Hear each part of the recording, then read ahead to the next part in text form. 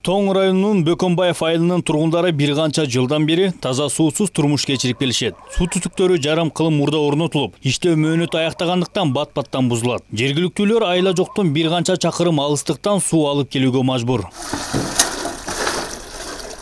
жыл башында бийлик өкүлдөрү айылыктар менен жолугушуу өткөрүп жакынкы аралыкта көйгөйдү чечүүгө убада беришкен бирок жыл аяктап баратканы менен таза суу маселеси кабыргасынан турат эски ошо колонкабыздын орду мындай мындай орундар ар бир көчөдө ар бир переулкада ар бир эмеде бар да мындай бүт баары ушундай плачет. Биздин айылга баканбаев айылына деген трубалар деген суунун трубасы бир миң тогуз жүз элүү алтынчы жылы орноптур да орноптур.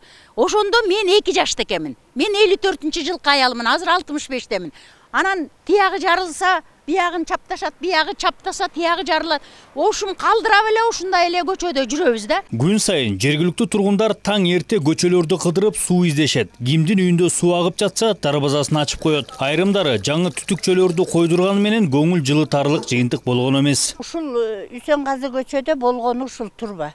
Момундан тияктан бери келип эме алат ал эмес бул турба кээде акпай да калат. Суу издеген да күндөрү болот. Багы жокко дагы жок демекчи элеттиктер ичип жаткан сууну таптаза деп айтуу кыйын. Айыл тургуну абдыбек шамыркановдун айтымында суу түтүкчөлөрүнүн башаты тоо тарапта жайгашып көпчүлүк учурда мал жайылат. Чып калуу системасы жок болгондуктан ар кандай акыр чикирге толуп калат.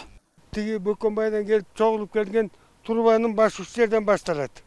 Бияк биягынын баары ачык өзүңөр көрүп турасыңар саз баткак баскан чөп баскан фильтр жок таза суу эмес кир суу барып анан биздин айылга кирип атпайбы ошондуктан ушул жерде жанагы он беш гектарга жакын жерди коруп тазалап мал киргизбегендей бир шарт түзүп берсеңиздер учурда аймактын алтымыш пайыз жашоочулары таза суунун жетишсиздигинен жабыркап келишет. Суу түтүкчөлөрүнүн эскилиги башкы көйгөй. Маселени чечүү үчүн оңдоп түзөтүү иштерин жүргүзүү абзел. Ага кеминде эки жүз кырк миллион сом талап кылат.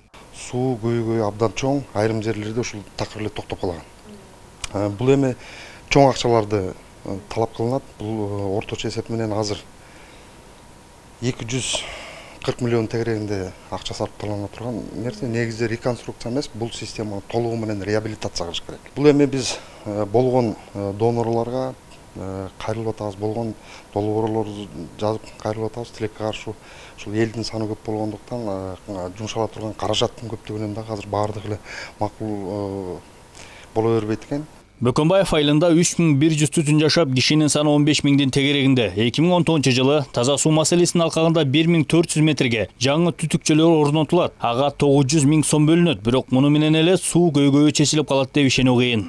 Кайрат кенжебаев тынчтык нью тв